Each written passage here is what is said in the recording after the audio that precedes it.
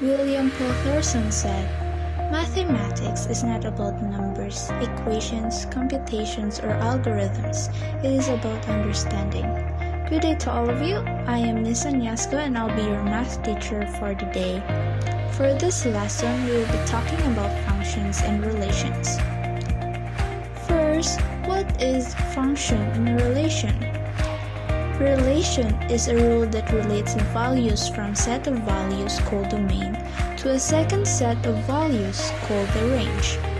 Take note that the elements of the domain can be imagined as input to a machine that applies a rule to these inputs to generate one or more outputs. On the other hand, function is defined as the relation where each element in the domain is related to only one value in the range by some rule. Note that elements of the domain can be imagined as input to a machine that applies a rule to these inputs to correspond to only one output. Is it confusing? Don't worry, as you go along, you are going to understand the concept of functions and relations. What do you see on the screen? Yes, this image is a function machine. A function machine is an imaginary device that receives inputs and generates outputs. A number or input is put into a machine and is transformed into a second number, the output, through the application of a rule. Here are some examples. Our input is 5 and our rule is multiplied by 2. 5 multiplied by 2 is 10, so 10 is our output. Do you get it? Okay, don't worry. Here's another example. Our input is 5 and the rule is squared. 5 squared is 25, so our output is 25. Do you now get it? Easy, right? Do you know that there are types of relations? Yes, you heard me. In fact, there are four types of relations. First, we have one to many. One to many is a type of cardinality that refers to the relationship between two entities, A and B, in which an element of A may be linked to many elements of B. But a member of B is linked to only one element of A. Second type of relation is many to many. Many to many is a type of cardinality that refers to the relationship between two entities, say A and B, where A may contain a parent instance for which there are many children in B, and vice versa. Third type of relation is one to one. One to one is a type of cardinality that refers to the relationship between two entities, A and B, in which one element of A may be linked to one element of B and vice versa. Fourth and the last type of relation is many to one. Many to one is a relationship between more than one instances of an entity which one instance of another entity. Remember that all functions are relation, but not all relations are function. One to one and many to one relations can be considered as functions. There are different ways of expressing functions and relations. First, we can express it as a set of ordered pairs. Ordered pairs is composed of two coordinates, the x coordinate or the abscissa and the y coordinate are also known as ordinate. What do you call a set of all x coordinates? It is called as domain. How about a set of all y coordinates? It is called as range. How do we consider set of ordered pairs a function? We consider set of ordered pairs a function if every element in the set is composed of different x and y coordinates. No common x coordinates exist in the given set. Here are the examples in determining whether a given ordered pairs is a function or a relation. Here we have 1 and 2, 2 and 4, 3 and 6, 4 and 8, 5 and 10. Note that 1, 2, 3, 4, 5 is the domain or the set of all x coordinates. 2, 4, 6, 8, 10 is the range or the set of all y coordinates. Just like the function machine that I have discussed a while ago, the x is the input while the y is the output. In determining whether the ordered pairs are function, we need to know the rule that fits the output. Is it confusing? Let me give you an example. The given ordered pairs is 1 and 2, 2 and 4, 3 and 6, 4 and 8, 5 and 10. We need to find a rule that fits the y coordinates. Can you guess the rule? That's right. The rule is y is twice x. It means we have to multiply x by 2 to get y. 1 times 2 is equals to 2. That explains 1 and 2. 2 times 2 is equals to 4 that explains 2 and 4. Now, it's time for you to try to solve it yourselves. Maybe you're asking me, Ma'am, how do we know if the ordered pair is a relation or a function? Don't worry, figuring whether the ordered pairs is a relation or function is as easy as pie. Now, can you spot the difference? The first one is a function, and the second one is a relation. Relations have repeated x coordinates, while y is not. See? It's easy. Now let's proceed to the examples. Determine whether the given ordered pairs is a function or relations. Here we have 2 and 1, 4 and 2, 6 and 3, 8 and 4. The given is a function because the x-coordinate is not repeated. The rule that applies to disordered pairs is y is divided by 2. 2 divided by 2 is 1. That explains 2 and 1. 4 divided by 2 is 2. That explains 4 and 2. Now it's time for you to try to solve it yourself. Another example. What do you think about this? Is it a function or a relation? That's right. It's a relation because the x is repeated. The question is, what is the rule? The rule is y squared is equal to x, which means 4 squared is equal to 16, which explains 16 and 4. 3 squared is equal to 9, which explains 9 and 3. Here's another example. Even though that there are two sevens, this is a function. Take note of the signs. There is a negative sign in the other 7, so both are different from each other. Are you having a hard time looking for the rule? It is because this ordered pair do not have a rule.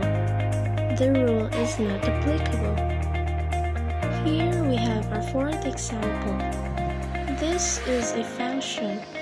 The rule is y is equal to x multiplied by negative 10. 1 times negative 10 is equal to 10 which explains 1 and negative 10. 3 times negative 10 is equal to negative 30. which explains 3 and 30, and so on.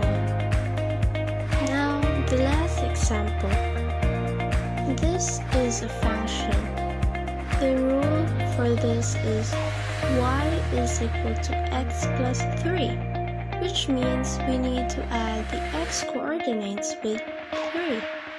Therefore, negative 1 plus 3 is equal to 2, which explains the negative 1 and 2. The second way in expressing functions and relations is called table of values. The set of ordered pairs can be written as a table of values still composed of x and y coordinates. The x coordinates is written in the first row and below is the y coordinates. Note that a table of values is a function if there are no common coordinates in the row of x coordinates.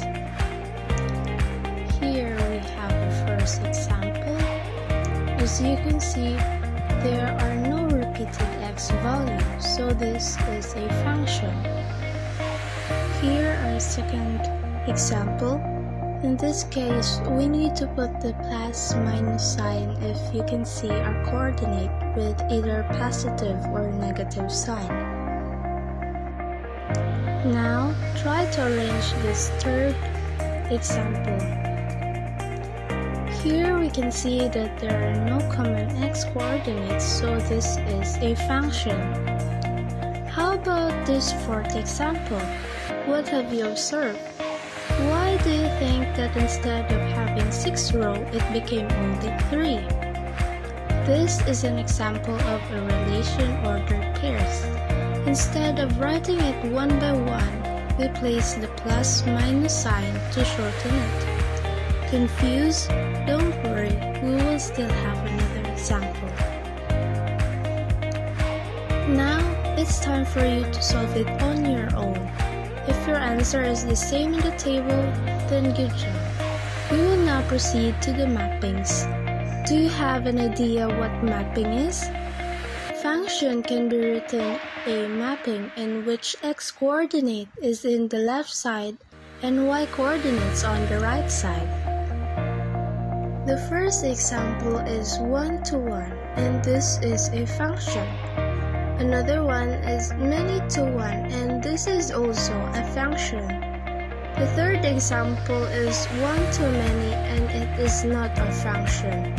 The fourth and the last is many to many and this is not a function. Next is graph. Graph is a vertical line test that can be used in order to determine if a graph is a function or merely a relation. But how do we use a vertical line test? First, we have to draw a vertical line passing through the graph in the rectangular coordinate plane.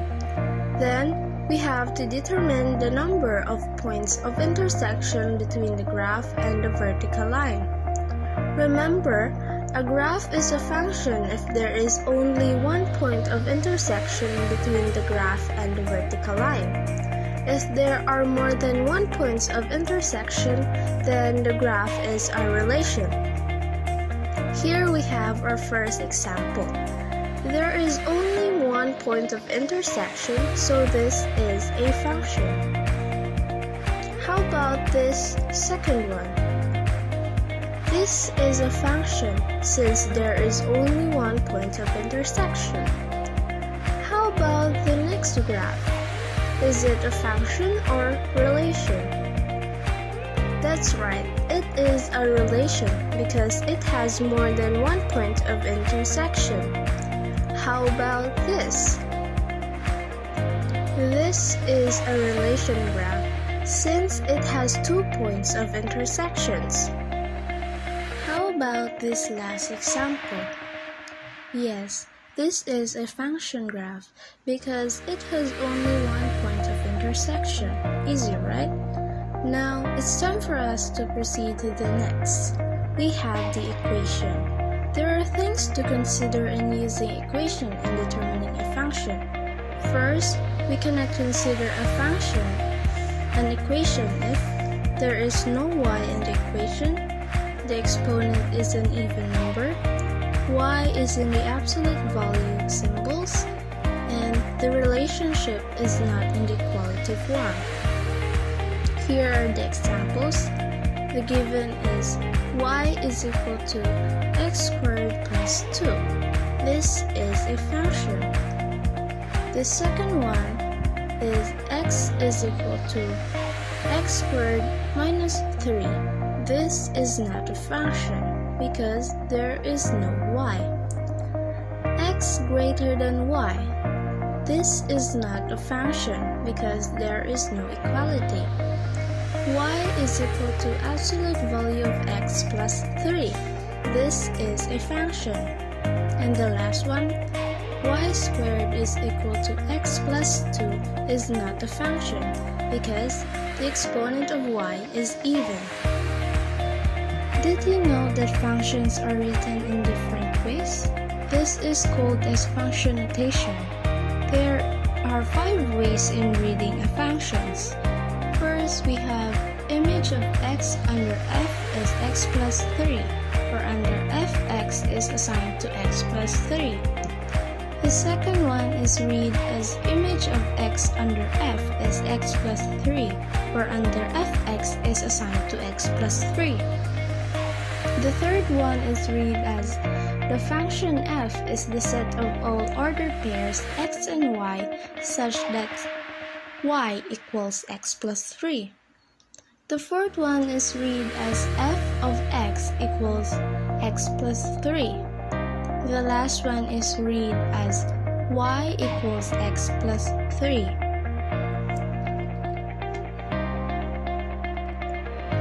We must remember that x is considered as independent variable, y on the other hand is the dependent variable. Must remember that x is considered as independent variable and y on the other hand is the dependent variable. Before using the function notation five different ways, let us learn first how to get the function. Here is one example. In one piece of advice, always start at the end. A function which element in the range is 5 more than 5 times its corresponding element in the domain. First, we see the word element in the end of the sentence. The element pertains to y. Now we have letter y already. Second, we can see the word 5 times which pertains to 5x. Now we have x is equal to 5x. We can see the word more than 5 which pertains to plus 5. Now we have x is equal to 5x plus 5, which is the final answer. Now it's time for us to use the four different ways of writing a function since we already have one. Here is another one. A function in which element in the range is 3 less than the square of its corresponding element in the domain. The element is y is equal the square is x squared. Less than 3 is minus 3. Now we have y is equal to x squared minus 3. Now it's time for us to write the other four. Here's our third example. Function in which every element in the range is 4 decreased by twice its corresponding element in the domain element is y equal 4 decreased by twice is 4 minus 2x. Now we have y is equal to 4 minus 2x. Then we need to write the other ways. Here we have our fourth example. Write the function notation in which every element in the range is twice its corresponding element in the domain in five different ways. Element is y is equal, twice is 2, element is x. Now we have y is equal to 2x. Now for the last example, write the function notation in which every element in the range is the cube of 5 less than its corresponding element in the domain element is y is equal cube of 5 less than is x minus 5 cube. Now we have y is equal to x minus 5 cube. Next we need to write it in four ways. Okay, this is the end of our lesson. Thank you for listening to me. Before I end this, I would like to leave a quote for all of you. Mathematics may not teach us how to breathe oxygen and how to exhale carbon dioxide, or to love a friend and forgive an enemy. It may not even help us find our way to our one true love. But it gives us every reason to hope that every problem has a solution. I hope this will remind you to keep living and be positive in life. Thank you to all of you. This is Miss Aniesco signing off. God bless.